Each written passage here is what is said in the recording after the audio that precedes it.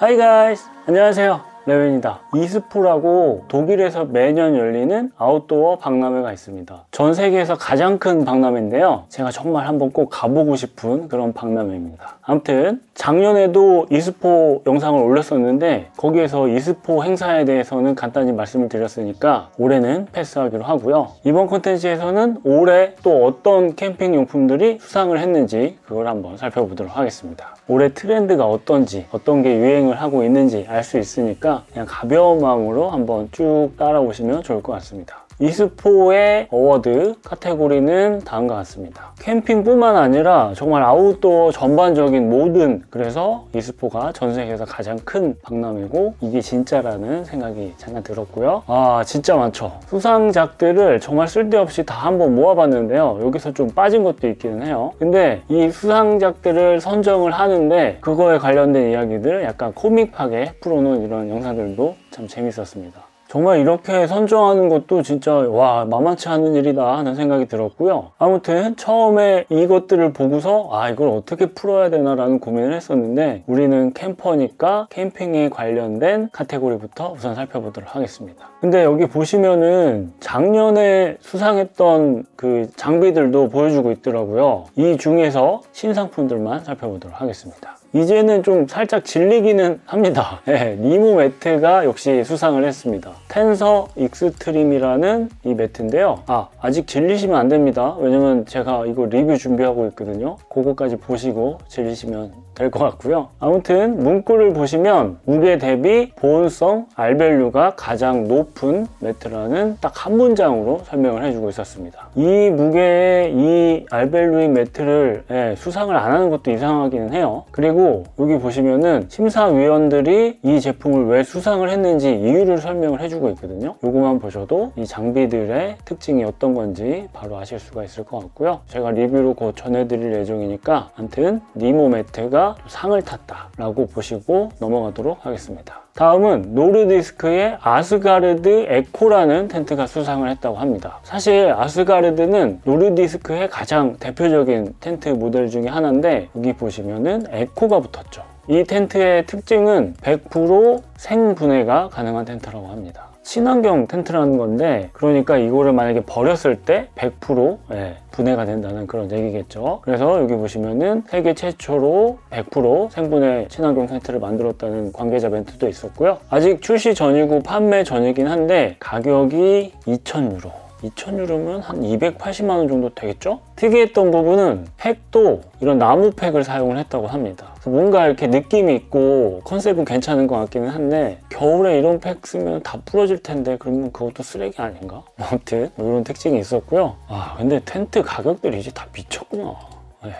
Nordisk에 이것도 상을 탔는데요. 이게 뭐지? 디지털 customer? 이게 뭐지? 라는 생각이 드실 텐데 그냥 심플합니다. 여기 사진 보시면 여기에 NFC 칩을 심어가지고요. 스마트폰을 대면은 뭐 텐트 설치 방법이라든가 스펙 관련된 그런 링크를 띄워준다고 해요. 그 텐트 파우치에 종이 같은 걸로 그런 걸 적어두잖아요. 그래서 뭐 이런 칩을 집어넣음으로써 종이 사용을 줄일 수 있다는 그런 얘기를 하고 있었는데 그렇게 효과가 있을 않을까 하는 생각이 사실 들긴 했습니다. 그래도 뭐 이런 Nordisk 같은 글로벌 브랜드들은 텐트를 뭐 몇백 동 만드는 게 아니라 몇천 동씩 만들 거니까 약간의 효과가 있을 것 같다는 생각이 들긴 했고요. 그래서 시도나 컨셉은 괜찮았는데 이걸 과연 상을 줄 정도인가 하는 생각이 네, 또 한편으로 들긴 했습니다. 자 다음은 팩입니다. 네, 모양이 좀 특이하죠? 이 단조 팩인데요. 디자인이 좀 특이하네 하고 살펴보다 보니까 뭐 여기에 중국이라는 단어가 있어서 아, 중국 브랜드다 라고 보다가 보니까 한국이라는 단어가 보였습니다 그래서 어 이거 뭐지? 하고 좀 더 찾아보게 됐는데요. Autumn Tree Autumn Tree가 뭐지? 하고요. Autumn Tree가 아니라 Autumn Tree라는 한국 브랜드가 있었고요. 이렇게 인스타그램 계정이 있었습니다. 사진을 보다 보니까 ISPO 트로피가 보이네요. 그래서 홈페이지를 들어가 봤더니 지금 현재는 품절이긴 했지만 Autumn Tree라는 공식 사이트에서 이렇게 판매를 하고 있었습니다. 이 모양이 A 오텀이잖아요. 그래서 Autumn Tree에 A를 따서 만든 거라고 하더라고요. 또 이렇게 팩 4개를 같이 묶어줄 수 있는 부품이 있는 것도 아주 특이해 보였습니다.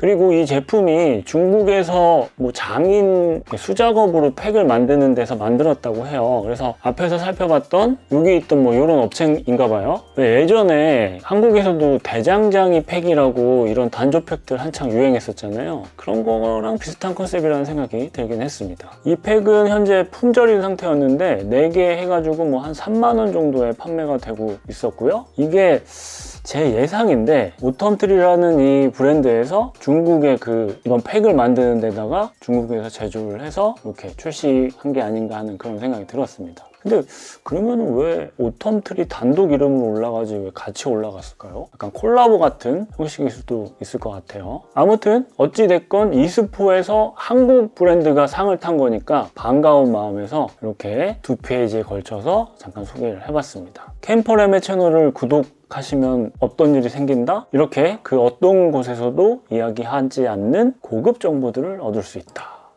그러니까 구독 혹시 잊으신 분들 계신다면 아시죠? 감사합니다. 자, 다음은 캠핑 냉장고인데요. 사실 이 캠핑 냉장고는 가성비 제품들 진짜 많잖아요. 근데 저는 개인적으로 아, 무슨 캠핑에서 냉장고야 뭐 이런 생각을 사실 하고 있기는 했었는데 또 이거 보니까 어 이거 괜찮을 것 같은데 라는 생각이 들더라고요. 이스포에서는 앵커라는 브랜드에 상을 줬다고 합니다. EverFrost라는 이 모델인데요. 앵커가 저도 이번에 처음 알게 됐는데 중국 브랜드더라고요. Anker라고 해서 약간 미국 브랜드인가 하는 생각을 하고 있었는데 아무튼 수상한 이유를 좀 살펴보면은 25도 기온에서 4도로 유지했을 때 42시간 정도 사용이 가능하다고 합니다. 또 이렇게 충전하는 방식이라서 선을 계속 연결해 둘 필요도 없고요. 이런 데 바퀴도 있고 또 배터리를 따로 이렇게 빼서 다른 전자기기들을 충전을 할 수도 있고요. 여기 테이블도 옆에 있고 태양광 충전도 가능하다고 합니다. 어, 스마트폰으로 원격으로 제어도 가능하다고 해서 야 이거 되게 괜찮다 하는 생각이 들긴 했습니다. 하지만 가격대는 좀 비싼 편인 것 같다는 생각이 들기도 했고요. 아무튼 이스포에서는 앵커 캠핑 냉장고가 상을 탔고요. 다음은 도메틱이라는 스웨덴 브랜드인데요. 여기 보시면 물통이랑 수도꼭지 같은 게 보이는데 사실 메인이 되는 거는 이 수도꼭지입니다. 근데 수도꼭지 하나가 가격이 뭐가 이렇게 비쌀까 하는 생각이 들어서 좀 살펴봤더니 보통 국내에서는 차박, 캠핑카 캠핑, 카라반 캠핑 이런 여러 가지 단어들로 부르는데 외국에서는 알빙이라고 이야기를 합니다. 그 알빙에 관련된 용품들을 만드는 브랜드가 도메틱이라는 브랜드였는데요. 이 수도꼭지가 특이한 부분은 이런 식으로 충전을 해서 사용을 하고요. 여기 사용하는 걸 보면은 상단에 이렇게 터치 방식으로 돼 있어서 그걸 딱 터치를 하면 은 내가 원하는 만큼의 물만 딱 나오고 그래서 물 낭비가 없다는 장점을 이야기를 하고 있었고 처음에는 이거를 보고 이게 뭐 이런 생각이 들었었는데 이런 사진들 보니까 오 실제로 사용하면 나쁘지 않겠다 하는 그런 생각이 들긴 했습니다. 약간 그런 거 있잖아요. 남들한테 괜히 자랑하고 싶은 별거 아닌데? 네, 그런 아이템이라는 생각이 들었습니다. 다음은 이 매트인데요. 아이디어가 네, 되게 재밌다는 생각이 들었습니다 이 제품도 상을 탔고요. 바흐라는 브랜드입니다. 매트 아래쪽이 이렇게 분리가 가능하게 만들어서 방석으로 이런 식으로 사용을 할 수 있다는 이런 아이디어가 되게 괜찮다는 생각이 들었고요. 백패킹 백패킹 하시다 보면은 1인용 텐트 같은 거 작은 텐트 쓰실 때 매트가 좀 걸리적거린다라는 생각이 들 때가 있는데 사실 매트는 뭐 잘 때 주로 사용을 하잖아요. 되게 괜찮아 보였지만 알밸류나 뭐 무게 이런 것들이 그렇게 크게 사실은 메리트가 있다는 생각이 안 들긴 했습니다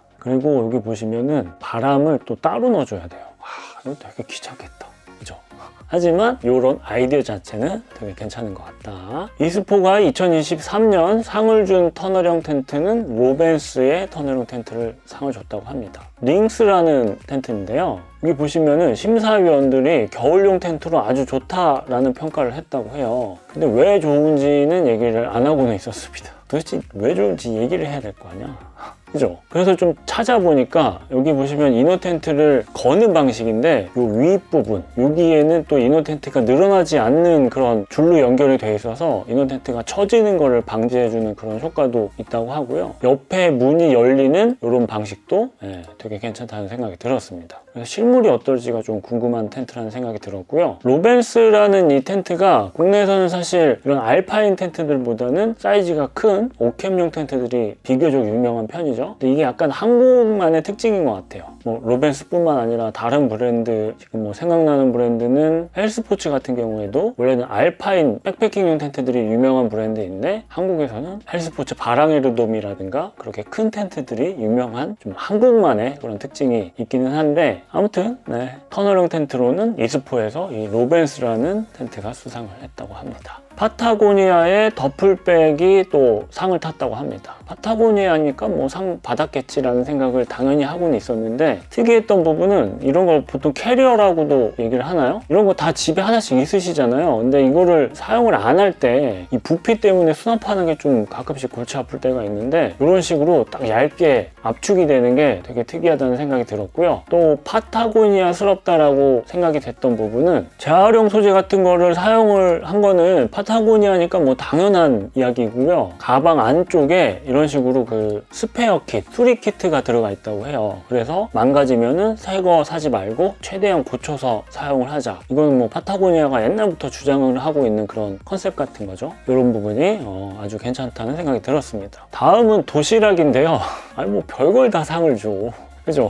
보시면은 뚜껑이 이런 식으로 나무 상판이고요. 여기 자석 같은 게 붙어 있어서 여기 달려 있는 게 오피넬 라이프더라고요. 그래서 뭐 자석을 딱 도마에 붙여서 뚜껑으로도 사용을 할 수 있고 뭐 그런 도시락인데 특허가 있다고 그래가지고 뭐 얼마나 대단한 거가 해서 살펴봤더니 여기 끈 같은 게 있잖아요. 예, 여기 끈 같은 거. 도시락을 쓸 때 그 끈을 허벅지에 묶어서 고정을 해서 아이 그게 뭐야.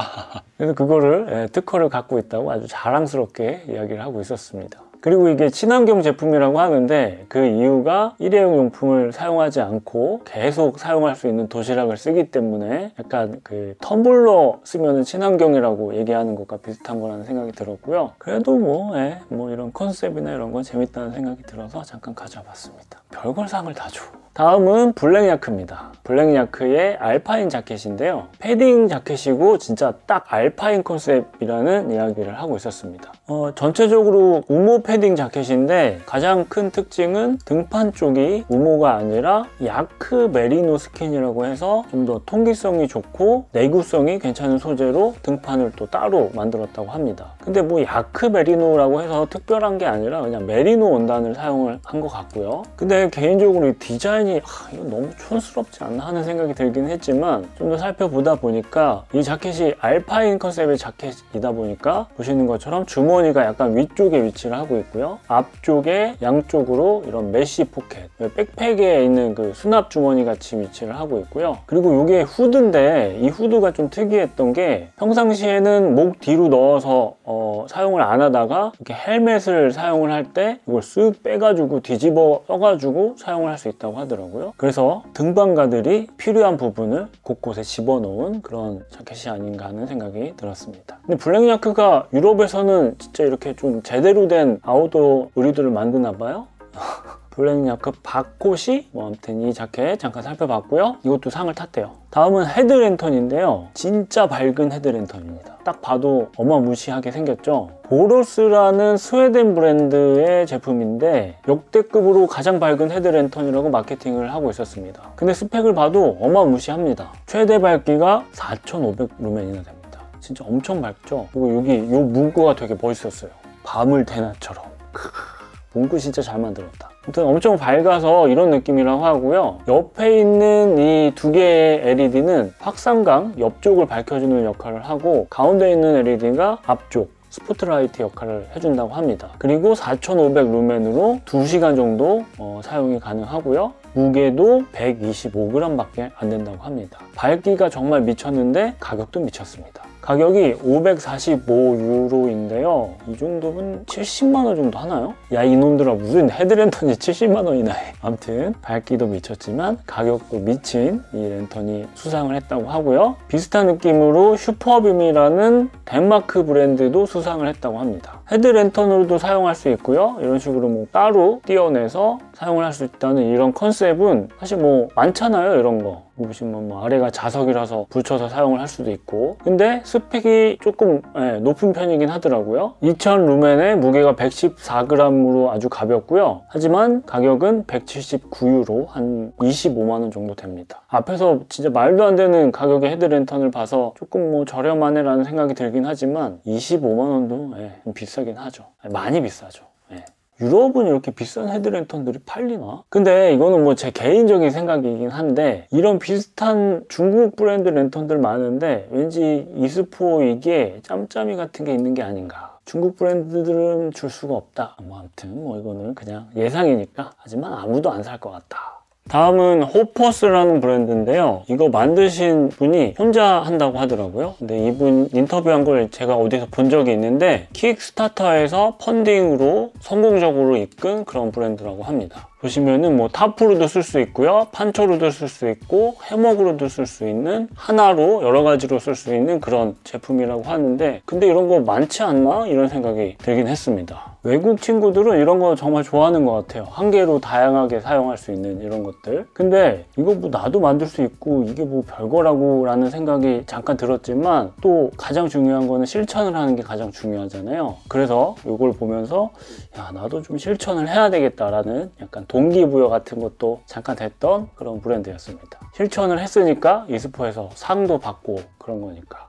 그죠? 근데 뭐 보면은 나일론 원단이고 뭐, 뭐 아무튼 캠핑 카테고리는 아니었지만 제 눈에 잠깐 띄었던 게 이 눈삽이었습니다. 뭔가 멋있어 보였어요. 마무트 브랜드 제품이고요. 한국에서 두 번이나 망한 그 마무트 세계 3대 아웃도어 브랜드 그 마무트의 눈삽입니다. 알루미늄 재질을 사용을 했고요. 이렇게 삽에 구멍이 뚫려 있어서 무게가 되게 가볍습니다. 무게가 390g 밖에 안 되고요. 유럽은 인증 같은 걸 되게 중요시하기 때문에 그런 모든 인증을 다 받았다고 합니다. 손잡이가 이렇게 따로 분리도 되고요. 이걸 쏙 빼주면은 이런 식으로 길이도 늘어나고 모양도 아주 괜찮다는 생각이 들었습니다. 가격은 125유로이고요. 한 18만 원 정도 되겠네요. 근데 국내에서는 이런 눈삽 우리 같은 백패커들이나 좀 관심을 갖고 있는 제품이긴 한데 해외에서는 여기 보시면 눈사태라는 단어가 보이잖아요. 그래서 겨울 스포츠, 특히 뭐 backcountry 즐기시는 분들은 이 눈삽은 필수거든요. 그래서 마무트 같은 이런 큰 브랜드에서 좀 비중 있게 다루는 제품 카테고리 중 하나라는 생각이 어, 잠깐 들었습니다. 물론 한국에 마무트가 안 망하고 있었어도 이 제품은 판매를 안 했겠죠?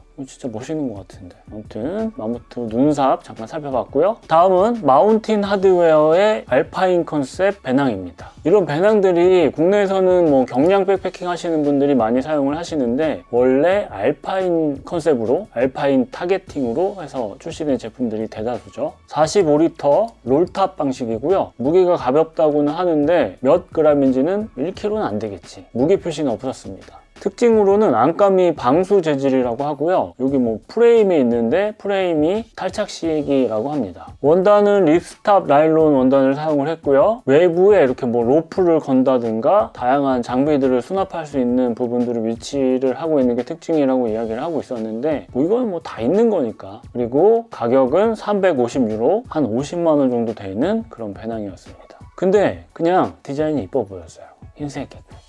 나쁘지 않다는 생각이 들었고요. 또 마운틴 하드웨어의 이 침낭도 수상을 했다고 합니다. Spectre라는 모델인데요. 이 침낭도 가벼운 침낭이라고 하는데 무게 표기는 없었고요. 아니 뭐 무게를 표기를 안 해. 특징은 Pertex Quantum Pro Diamond 원단을 사용을 했다고 합니다. 이 원단이 침낭에 잘 사용을 안 하는 원단인데 거의 뭐 최초로 사용을 했다고 하고요. fill power가 800이나 된다고 합니다. 요건 괜찮아 보이네. 네. 그리고 지퍼, 네, 지퍼가 보시면은 이쪽은 쭉 길게 돼 있고 여기는 이렇게 짧게 돼 있잖아요. 이렇게 된 이유가 등반가들이 침낭 안에서 팔을 잠깐 빼가지고 움직여야 할 때 이쪽만 열어서 팔만 살짝 빼서 움직일 수 있게 그렇게 설계를 했다고 합니다. 가격은 640유로. 역시 알파인이라는 단어 붙으면 가격도 올라간다. 근데 정말 무게가 궁금하긴 합니다. 얼마나 가볍길래 ultra light라는 단어를 붙였는지. 노스페이스의 3L 자켓도 상을 받았습니다. 사실 뭐 엄청나게 특별한 건 없었지만 3L 자켓이 각 브랜드의 대표 모델이기도 하잖아요. 그래서 수상을 한 것 같고요. 요즘 노스페이스가 길에서 자주 보이던데 다시. 특이한 부분은 100% 재활용 원단을 사용을 했다고 하고요. 그 외에는 뭐 특이한 부분은 없었습니다. 그냥 100% 재활용 원단을 사용을 했고 노스페이스라서 상을 준 게 아닌가 하는 생각이 잠깐 들었고요. 이 노란색이 남자 컬러고요. 이 주황색이라고 그래야 돼? 핑크색이라고 그래야 돼? 이게 여자 컬러인데 보다 보니까 나쁘지 않네 하는 생각이 들긴 했습니다. 근데 사이트를 들어가 보니까 다 품절이더라고요. 해외 사이트에서는. 그래서 품절이라니까 괜히 더 관심이 가는 그런 자켓이었습니다. 무게도 220g밖에 안 돼서 되게 가볍기는 했는데 가격이 440유로. 와 비싸다. Rab이 작년에 처음 매트를 출시했죠? 재작년이었나? 뭐 아무튼 여기 보이시죠? ultra light. 무게가 370g이고 R밸류가 4.3입니다. 엄청 가벼운 매트죠. 그리고 크기를 보시면 테니스 공이랑 비교를 했네요. 크기도 엄청 작습니다. 야, 이 매트 나오면 핫하겠는데요? 그죠? 아직 판매 전인, 출시 전인 매트인데 독일이랑 미국은 또 출시를 안 한다고 하네요. 신기하네. 왜 그러지? 아무튼 이름도 Ultrasphere라는 이름을 갖고 있는 그런 매트입니다. 호상사가 그 Rab 매트에는 좀 관심이 없는지 마케팅을 좀 본격적으로 안 하시는 것 같은데 이 매트 출시되면은 이거 살까 말까 고민하시는 분들이 꽤 많을 것 같다는 그런 생각이 들었던 매트였습니다. 야 4.3에 370g이면 진짜 어마어마하다. 네. 이 침낭도 Rab 제품인데요. 여기 보시면은 그 세트 느낌입니다. 앞에서 살펴봤던 매트랑 Rab의 경량 라인업인 Mythic 침낭입니다. Mythic Ultra 120. fill power가 900이나 되는데 무게는 315g. 훌륭하네요 훌륭해. 여기 보시면 은색깔 뭐가 이렇게 살짝 보이실 텐데 TILT라고 해서 Rab에서 어, 사용하고 있는 그 기술인데 은박 재질을 넣은 거라고 보시면 될 것 같아요. 그 TILT가 위치를 하고 있고요. 재활용 원단을 사용을 했다고 합니다. 침낭이랑 매트 해서 이렇게 세팅을 하면은 매트가 370g 침낭 315g 해서 매트랑 침낭이랑 해서 700g이 안 되네요. comfort 온도가 0도라고 하니까 이렇게 딱딱 세팅을 하면은 아주 훌륭할 것 같다는 생각이 들었습니다. 자, 다음은 밀레 자켓도 상을 받았습니다. 이 자켓이 특이했던 부분이 Dyneema 원단을 사용한 자켓이라고 합니다. Dyneema 하면 뭐죠? 가격이 엄청 비싸겠죠? 가격은 1000유로 140만 원 정도 됩니다. 야 fill power는 천이나 되고요. 뭐 가격도 천이고 fill power도 천이야. 완전 예, 고스펙 자켓이죠. 그래서 여기 옆에 보이는 요 원피스 슈트 같은 것도 ISPO상을 수상을 했는데 이렇게 같이 세트라고 하더라고요. 이게 1200유로 그래서 이렇게 세트로 구성을 하면은 한 300만 원 정도 되겠네요. 근데 이런 의류들은 일상복이라든가 그냥 뭐 일반 캠핑 갈 때 입는 옷이 아니라 등반할 때 입는 옷이기 때문에 비싸긴 하지만 뭐 그렇게 또 비싼 가격대가 아닐 수도 있겠다는 생각이 잠깐 들어 들었고요. 그래서 뭐 다이니마 자켓 이런 비싼 자켓도 있다 정도로 보시면 될 것 같고 그리고 이 배낭이 같은 세트 느낌으로 트릴로지 배낭이라고 다이니마 원단으로 만든 배낭입니다. 근데 다이니마로 만들었다고 모두가 인기 있는 건 아니다. 이게 지금 안 팔려서 40% 세일을 해서 24만 원 정도에 판매를 하고 있습니다. 아, 이 로고만 없었어도 영상이 좀 길어지는 것 같은데 다 왔습니다. 네, 조금만 더 따라와 보시죠. 요즘 영상 길이를 좀 줄여야 되겠다는 압박감 같은 게 좀 있어서 이런 말도 하면 안 되지. 여기 있는 제품들도 상을 받은 제품이긴 한데요. 뭐 엄청나게 특별한 건 없고 좀 재밌다는 생각이 들어서 이렇게 두 개를 한 번에 가져와 봤습니다. 이 제품은 그 핸드폰 케이스에 줄을 연결을 한 거래요. 그래서 배낭을 메고 가다가 핸드폰이 필요하면은 여기서 꺼내서 줄을 쫙 당겨서 사용하고 다시 줄을 착 넣어서 수납을 하고. 이런 거는 별거 아니긴 한데 아무튼 이런 아이템도 상을 받았고 또 이거를 어, 사용해보면 나쁘지 않겠다는 생각이 들긴 했고요. 그리고 제가 겨울에 발 시린 거 진짜 너무 괴로운데 이런 부츠 이런 건 한국에서 인기는 없죠. 이런 부츠도 괜찮을 것 같다는 생각이 들어서 이것도 상을 받았더라고요. 그래서 이렇게 두 개를 한번 가져왔습니다. 이 스토브는 얼마 전에 그 신상품 영상 소개할 때도 잠깐 나왔던 제품인데요. Primus의 Ulti 스토브라는 제품입니다. MSR Reactor와 코베아 알파인 마스터와 비슷한 느낌이죠. 근데 이전 영상에서 구독자분이 댓글을 달아주셔서 아 맞다 하는 생각이 들었었는데 지금도 나오는지 모르겠어요. 예전에 나왔던 아크 스토브랑 모양이 거의 비슷합니다. 아무튼 그냥 뭐 Primus에서 새로운 게 나와서 상을 준 게 아닌가 하는 그런 생각이 들었고요. 작년에 저에게 잠깐 광고를 주셨던 아주 감사한 광고주님 아디다스 Terrex 의류도 수상을 좀 많이 했습니다. 한 3개인가 4개 수상을 했는데 그 중에 저는 요 자켓이 좀 눈에 띄었어요 PrimaLoft 충전재를 사용한 자켓인데 딱 제 스타일이에요. 그래서 이 제품이 국내에 뭐 들어올지는 모르겠지만 들어오면 한번 관심 있게 살펴볼 생각이고요. 아무튼 아디다스 Terrex 상 받은 옷 중에 이게 눈에 띄었고요. 근데 한국에서는 Terrex 의류가 좀 인기가 없는 것 같아요. 어, 정말 괜찮은데 이 pole이 어 제가 어디서 언뜻 보긴 했는데 이번 이스포 수상작들 중에서 가장 최우수 제품으로 상을 탔다고 합니다. 블랙 다이아몬드 pole인데요. 이게 상을 탄 이유가 여기 보시면 블룸이라고 해서 저는 뭔지 정확히는 모르는데 해조류라고 해요. 그래서 이제 재활용을 하는 건데 이 부분, 네, 여기 원래는 플라스틱 같은 걸 사용했던 이 부분에 세계 최초로 블룸이라는 소재를 사용을 했다고 합니다. 그리고 이 손잡이 부분은 코르크를 사용을 했고요. 이 블룸이라는 소재가 신발에서는 원래 사용을 했었는데 신발을 제외한 hard good 제품이라고 하죠. 이런 제품에는 세계 최초로 사용을 한 거라고 하더라고요. 그래서 상을 받은 게 아닌가 하는 생각이 들었고요. 그 외의 특징으로는 손잡이 부분에 이렇게 그 충격을 흡수해주는 부분이 있고요. 이 폴을 다쑥 빼면은 이런 식으로 툴로도 사용이 가능하다고 합니다. 이 제품은 현재 판매 중이긴 했는데 국내에서는 아직 판매는 안 하고 있는 것 같기는 해요. 아무튼 이런 친환경적인 컨셉 때문에 어, 수상을 한 게 아닌가 하는 그런 생각이 들었습니다. 자 이제 다 왔습니다. 진짜 다 왔어요. 원래 산에서는 다 왔다는 얘기 믿으면 안 되는데 진짜 다 왔습니다. 이스포 수상 아이템들을 보면서 다 소개는 못 해드리지만 종류가 워낙 많아서 제가 공통적으로 걸쳐있는 공통 키워드를 한번 뽑아봤습니다. 여기 있는 제품들도 포함이 되는 건데요. 앞에서 살펴봤던 제품들도 뭐 거의 비슷하고 세 가지 정도가 있는데 첫 번째는 urban and outdoor라고 해서 아웃도어 액티비티를 할 때뿐만 아니라 일상생활에서도 뭐 그렇게 등산복, 아웃도어 의류라고 티 안 내면서 입을 수 있는 그런 컨셉이 트렌드 첫 번째였고요. 이거는 약간 패션 트렌드랑도 겹치는 부분인 것 같아요. 그리고 seamless라고 해서 봉제 라인을 최소화하는 그래서 무게도 줄이고 착용감도 훨씬 좋게 만드는 그런 게 두 번째 트렌드였고요. 세 번째는 뭐 너무나도 좀 지겨우면 안 되지.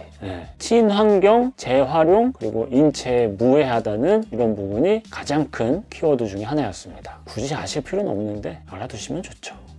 이제 엄청나게 많은 제품들을 다 하나씩 클릭해서 살펴보긴 했거든요. 근데 그건 다 살펴볼 수가 없으니까 제 개인적으로 좀 재밌다라고 생각이 됐던 아이템들을 몇 개 살펴보고 끝내도록 하겠습니다. 이 자켓도 상을 받은 자켓인데요. 여성용 자켓이고요. 뭐 보시기에는 뭐 뭐가 특이한 거지? 라는 생각이 드실 텐데 여기 보시면은 여기 방석이 있습니다. 그래서 이 자켓 안에 그게 접혀 있다고 해요. 그래서 방석을 쓸 때는 그걸 빼가지고 사용을 하는데 예전에 어르신들이 그 엉덩이가 차가우면 안 된다 뭐 이런 그리고 이거는 오클리 어, 선글라스라고 그래야 돼? 고글이라고 그래야 돼? 겸용이죠? 이런 식으로 선글라스로 사용을 하다가 밑에 이렇게 이렇게 프레임을 끼워주고 밴드로 교체를 해주면 고글로도 사용이 가능한 좀 재밌는 제품 같아서 네, 이것도 잠깐 가져와 봤습니다. 왜 그 고프코어 스타일로 입으신다는 분들 오클리 선글라스 이런 거 머리에 많이 얹고 다니시잖아요. 이게 앞으로 어, 머리에 있으려나?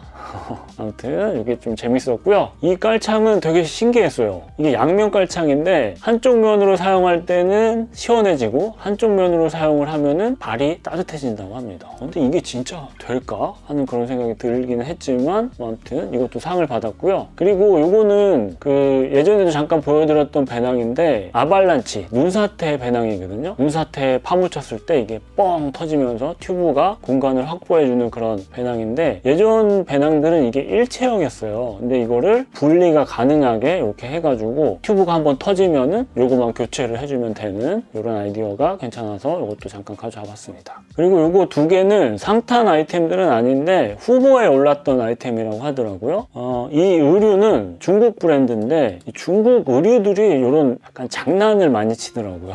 장난이라고 하면 안 되나? 뭐 아무튼 이 자켓은 안쪽이 야광 재질이라서 밤에는 이게 밝게 빛난다고 그래요. 그래서 좀 더 따뜻하다라고는 하는데 야광이 열이 났나? 어, 아무튼 좀 재밌어서 네, 가져와 봤습니다. 밤에 귀신 같고 아주 좋겠네요. 그 요거는 진짜 오 이거 괜찮은데 라는 생각이 들었는데 그냥 뭐 난방이죠? 아웃도어 난방인데 이게 특징이 뭐냐면은 벌레를 멀리하게 해주는 벌레가 싫어하는 냄새가 나는 그런 의류라고 합니다. 그래서 모기 같은 거에 예, 효과가 있겠죠. 이거 진짜 효과가 있다면 전 개인적으로 디자인이 좀 칙칙하긴 하지만 입을 의향이 있습니다. 하지만 국내에서는 구할 수가 없겠죠. 아무튼 재밌는 아이디어 같아서 이렇게 잠깐 가져와 봤습니다. 어우 여름에 그냥 벌레 달려들고 모기 달려드는 거 진짜 너무 싫어요.